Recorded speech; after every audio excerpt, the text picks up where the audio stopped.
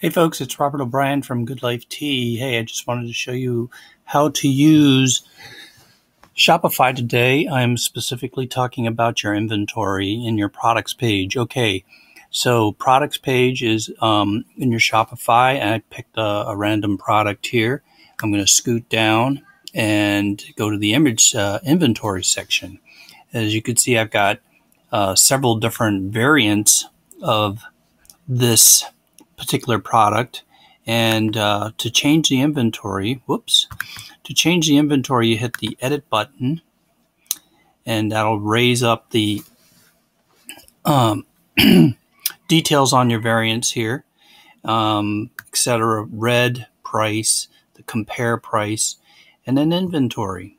So right now we're not tracking the inventory on this guy and we would like to track it. So I click that button then you got to add the amount that you got on hand.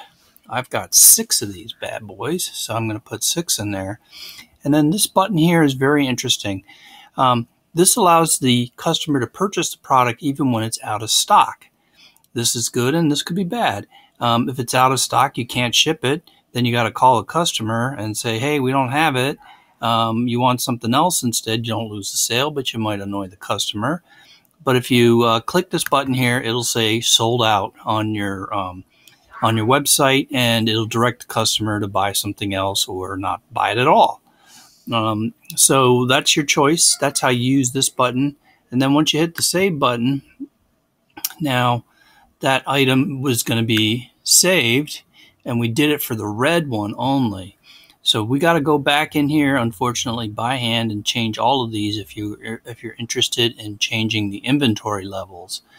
Um, so that's there you go. That's how you uh, change inventory in Shopify uh, one by one by hand, and um, it's important that you keep your inventory straight so you don't sell things you don't have. There you go. Thanks a lot for watching. Robert O'Brien, Rob the Tea Guy. GoodLifeTea.com.